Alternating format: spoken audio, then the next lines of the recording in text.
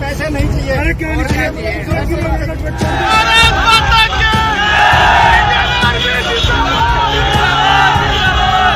सड़क पर हंगामे की ये तस्वीरें उत्तराखंड राज्य की हैं जहाँ सेना के जवान और स्थानीय पुलिस आपस में भिड़ गए हैं। एक पर देश की सुरक्षा की ज़िम्मेदारी है तो दूसरी पर आंतरिक सुरक्षा की। लेकिन सुरक्षा की ज़िम्मेदारी संभालने वाले ये लोग आपस में क्यों भिड़े, इस मामले को समझना पड़ेगा।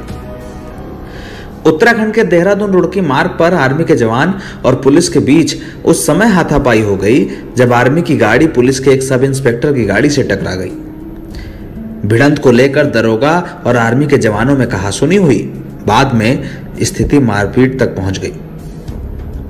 बताया जा रहा है कि मौके पर धक्का मुक्की की गई और सेना के जवानों के साथ बदसलूकी हुई। देखते ही देखते स्थानीय लोगों का हुजूम यहाँ पर इकट्ठा हो गया और सेना के पक्ष में नारेबाजी होने लगी। बताया जा रहा है कि विवाद के बीच दरोगा और अन्य पुलिसकर्मी रास्ता रोककर खड़े हो गए। दरोगा और आर्मी के जवानों के बीच धक्का मुक्की हुई। कुछ देर तक स्थितियाँ बिगड़ी तो फोर्स को बुलाया गया। लेकिन इससे पहले ही भीड़ ने आर्मी की गाड़ी को वहाँ से भगा दिया।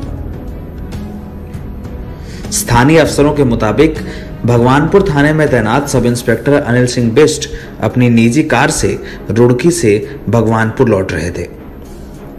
जैसे ही उनकी कार रामनगर के पास पहुँची, उस वक्त पीछे से आ रही आर्मी की गाड़ी दुर्घटनावश उनके गाड़ी के पिछले हिस्से से टकरा गई। इसके बाद दरोगा ने सेना के ट्रक को रुकवा लिया और बीच सड़क पर खड़े होकर फौजियों से बहस करने लगे। कुछ देर बाद सेना के जवानों और दरोगा के बीच धक्का मुक्की भी हुई। मौके पर हो रहा हंगामा देखकर स्थानीय लोग भी यहाँ आ गए। इसके बाद सेना के पक्ष में जमकर नारेबाजी हुई।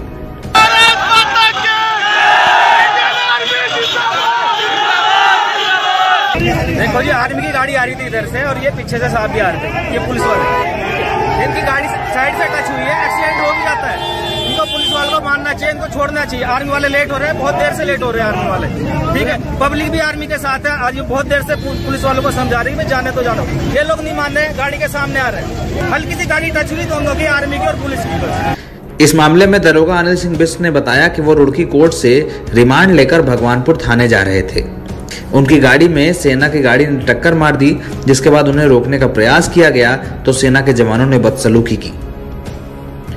एसआई के मुताबिक भीड़ ने उन्हें भी भगाने का काम किया है और इस मामले की जानकारी उच्च अधिकारियों को दे दी गई है।